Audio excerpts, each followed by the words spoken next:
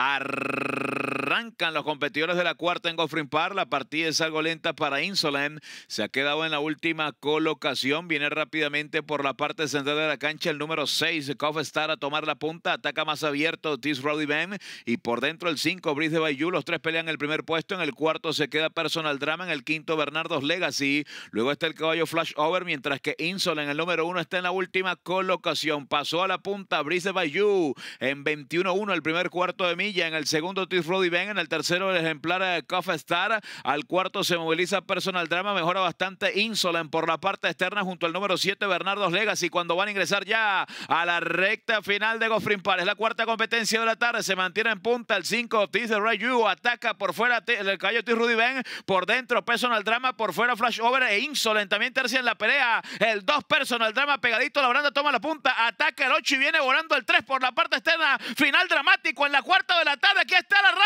el 2 por dentro.